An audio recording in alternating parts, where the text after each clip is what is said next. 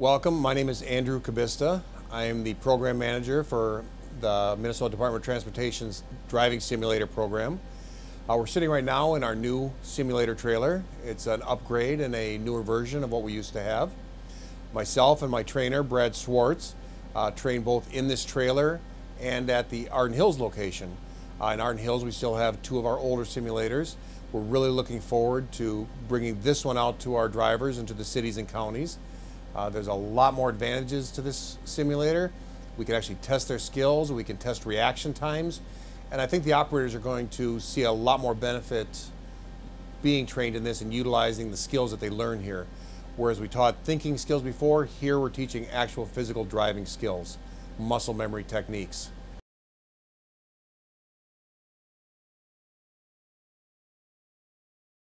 So with the simulator training, this is not a standalone training. This works in conjunction with our spot training that we have at Camp Ripley. They start up there by getting the basic skills of how to operate a vehicle.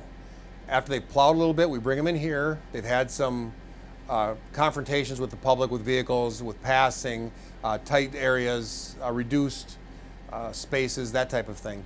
Uh, icy roads, uh, whatever may whatever may occur.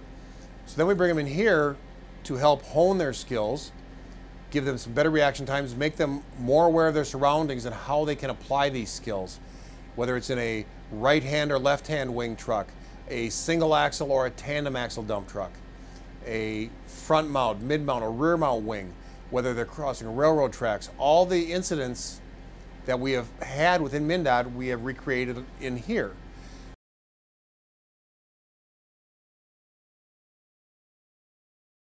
So what we're going to do now is we're going to plow snow going through some roundabouts or down through some ramps. I should say roundabouts, ramps, and uh, uh, interchanges. As you can see, I have now flipped forward our hand controls for the snow plow, and these are the exact same controls we are now putting in all of our plow trucks.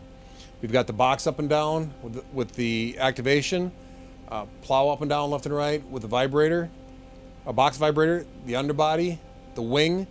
Uh, down the future, we will have the tow plow created here and we've got our strobe lights. So there I've got my rear mount wing extended out. You can see I've got my underbody going down. All right. So let's plow some snow. Again, I have to kind of place visually where I'm at, make sure I'm looking for the road, the road edges, using my mirror, trying to keep that fog line in sight.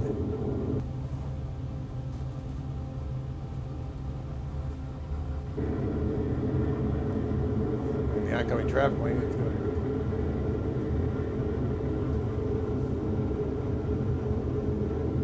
And we can also do this at night if we need to. Or we can make it rain.